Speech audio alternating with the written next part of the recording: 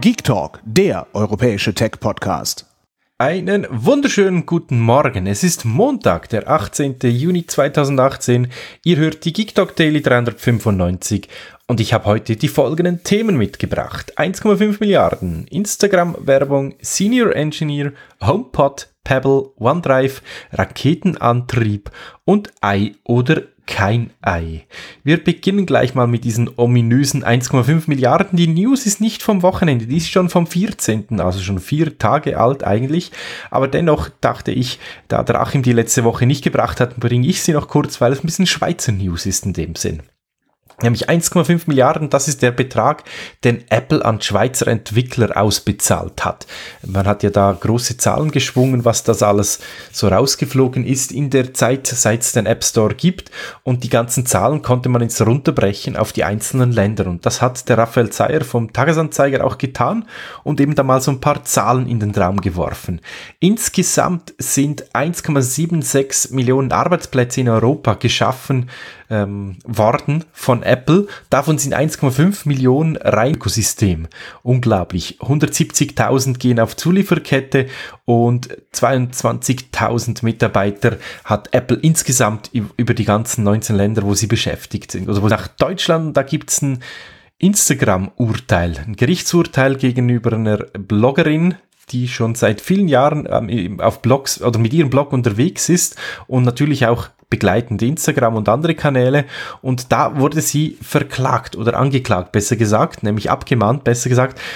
Sie hat Werbung nicht deklariert. Und das stimmt eben nicht ganz. Sie hat Werbung, wenn was bezahlt wurde, deklariert. Aber wenn nichts bezahlt wurde, ähm, hat sie dennoch irgendwie, mache ich ja auch, wenn ich äh, ein Samsung-Produkt auf dem Foto habe, mache ich einen Samsung-Link äh, drauf und ein, äh, was soll ich jetzt sagen, Nerf-Link, Hasbro-Link, ein Logitech-Link, wenn ich hier zum Beispiel den, den Tisch hier abfotografieren würde. Und das darf man nicht mehr nach diesem neuesten Gerichtsurteil.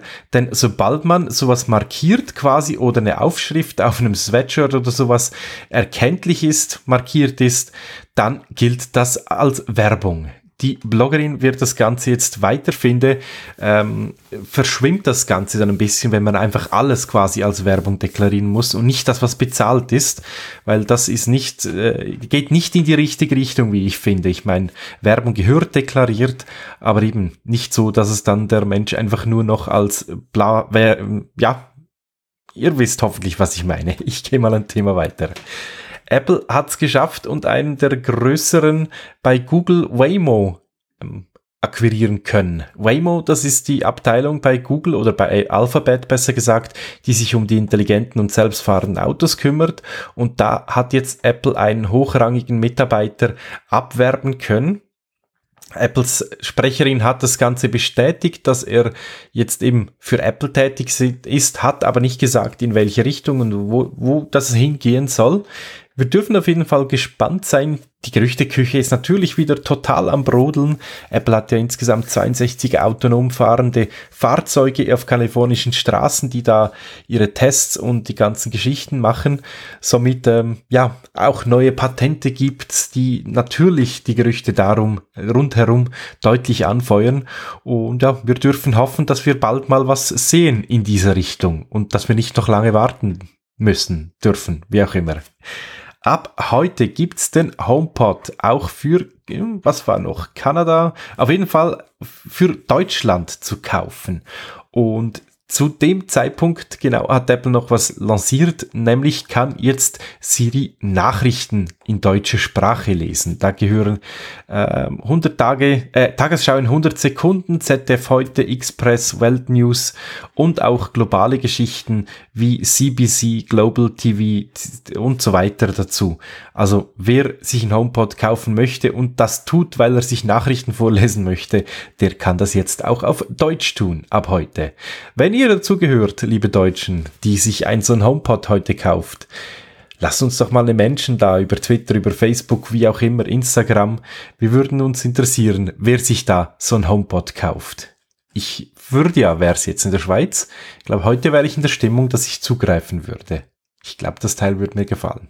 Aber ja, Pebble, Smartwatch, das ganze Ökosystem, sprich die Server dahinter, werden ja per Juni 2018, also jetzt dann offiziell eingestellt. Das hat Fitbit ja bekannt gegeben nach dem Kauf von Pebble und gleichzeitig eben das Uhrenprogramm eingestellt. Jetzt gibt's eine kleine Entwicklergruppe, Rebel nennt sich die, und die haben da was zusammengebastelt. Wer eine Pebble besitzt und die auch nach wie vor weiterhin nutzen möchte, kann das bei uns in den Show Notes nachlesen, wie und in welchem Umfang, dass das überhaupt möglich ist. Ich mag es, wenn Geräte und Dienste intelligent sind und mir zumindest nicht schaden. Zum Beispiel auf dem iPhone, aber auch auf gewissen Androiden, die ich besitze. Wenn ich Apps länger nicht nutze, dann gehen die weg. Nicht irgendwo ins Nirvana, sondern halt einfach in die Cloud. Zumindest bei iOS ist es so, dass dann ein kleines Pfeilchen da ist und wenn ich die App wieder möchte, einmal draufklicken und er holt sich wieder aus dem Store raus. Und ähnlich gibt es das auch jetzt bei OneDrive. OneDrive, der Cloud oder die Cloud von Microsoft, die hat jetzt unter Windows 10 zumindest eine kleine Speicheroptimierung spendiert bekommen. Heißt, Dateien, die ihr länger nicht braucht, werden einfach von eurem lokalen Device gelöscht logischerweise nicht ganz, sondern eben einfach lokal und in die Cloud oder einzig in die Cloud belassen. Und das, um eben bei euch ein bisschen für die Datenhygiene zu achten, um das Gerät, was ihr gerade nutzt, mit ähm, ja, freiem Speicher freizugeben. Grundsätzlich eine interessante Geschichte. Wer das nicht möchte, ich hoffe, das kann man deaktivieren. Ich werde es auf jeden Fall aktivieren, weil ähm, ja, man hat doch immer wieder Dinge, die man nicht unbedingt braucht. Und das Netz ist heute so schnell, das kann man sich schnell wieder zurückholen. Elon Musk, der Mann mit den super tollen Ideen, kommt immer wieder mal auf lustige Geschichten. Und aktuell möchte er seine beiden großen Firmen zusammenlegen. Nicht physisch und so weiter, aber möchte von SpaceX ein bisschen was in Richtung Tesla schicken, nämlich der Antrieb, so eine Falcon 9 Rakete, also die Technologie davon möchte er in den Roadster einbauen oder in einen kommenden Roadster mit einbauen und somit ein deutlich schnelleres Elektrovehikel auf den Markt bringen. Wir dürfen ja mal gespannt sein, was daraus wird. Zuallererst muss er jetzt mal Tesla retten und dann schauen wir weiter. Und zu guter Letzt geht's ums Ei. Und zwar nicht ums Huhn und Ei, sondern ums Ei oder nicht Ei. Es ist immer wieder mal so ein Ding bei Google mit den Emojis. Mögt ihr euch noch an das Bier erinnern? Und was war da noch? Äh, den Burger, den sie vermasselt haben.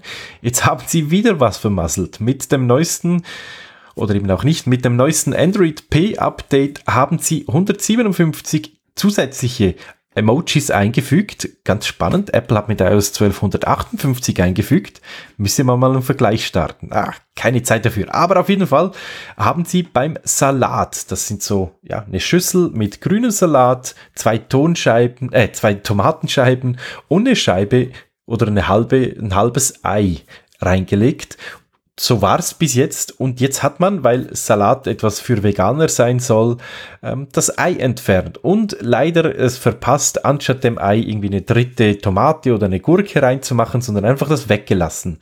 Und jetzt hat sich der, haltet euch fest, der Chef des britischen Eierverbandes, der British Egg Industry, Council gemeldet und Tim Bonner heißt der Typ und ist auf die Barrikade gegangen und hat anscheinend ziemlich, äh, ja, ähm, ausgerufen, denn es kann doch nicht sein, dass man eben äh, Eier, auf Eier verzichtet, dann hat man in Zukunft plötzlich Salate mit Ei, ohne Ei, mit Hühnerteilen, mit Thunfisch etc.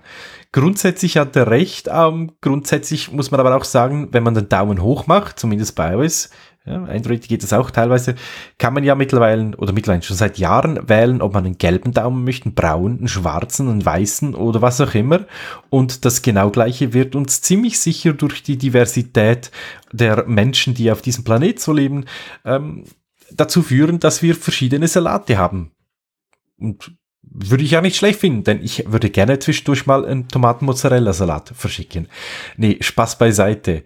Ähm, ja, Google hat's nicht einfach mit den Emojis. Ähm, ich hoffe, ihr konntet ein bisschen was mitnehmen heute und euch noch einen schönen und vor allem erfolgreichen Tag, einen tollen Start in die neue Woche und ich freue mich, euch dabei begleiten zu können.